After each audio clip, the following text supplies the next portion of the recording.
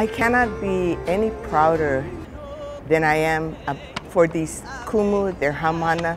To see them dance and to see the caliber is just really wonderful. And I admire them. I give them so much credit.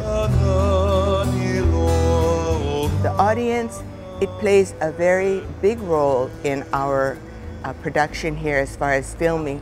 However, after what I saw these past few days, the halau are dancing just to dance, whether the stadium is full or not. It's the same caliber, it's the same desire, the same love they have for the culture. And a lot of times it is difficult when there's nobody cheering, but you wouldn't know it watching them. Over the years, I have seen many kumu do more research, and I have seen them want to make their own hula implements. I see them, you know, making their wauke into tapa, using natural dye.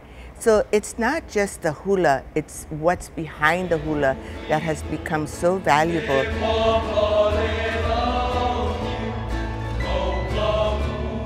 I don't think anyone really realizes just what Merrie Monarch went through, as well as the halau and all of the production staff. I just hope that people understand the hard, hard work that it took to have this festival be shared with the world and be seen on television.